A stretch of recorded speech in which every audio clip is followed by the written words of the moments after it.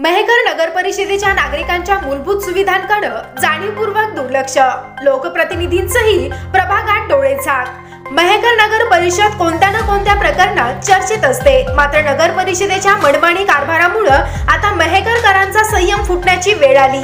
मेहकर नगर परिषद नागरिकांच्या मूलभूत सुविधांकडे जाणीवपूर्वक दुर्लक्ष करत आहे. येथील वार्ड क्रमांक बारा येथे डुकरांचा मुक्त संचार वाढला. त्यांच्या सोबतच कुत्र्यांची संख्याही वाढली आहे.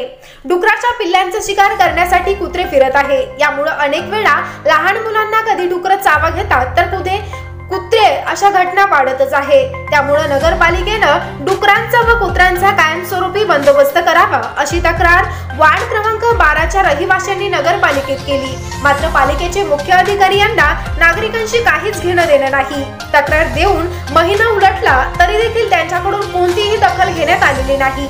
मग नागरिकांनी जायचं कुठं असा प्रश्न पडला.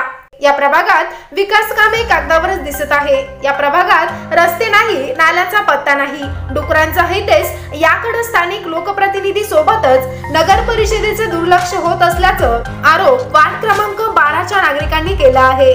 तरी पालिकेच्या दिलेल्या तक्रारीची तात्काळ दखल घेण्यात यावी अन्यथा लोकशाही मार्गानं आंदोलन छेडण्यात येईल असा इशारा सय्यद रफीक सय्यद मोहुद्दीन रिजवान बागवान मुजाहिद बागवान जावेद खान मोहम्मद अलीम मोहम्मद अमर शारीरिक बागवान शेख अरबाज यांच्यासह आदींनी दिला आहे.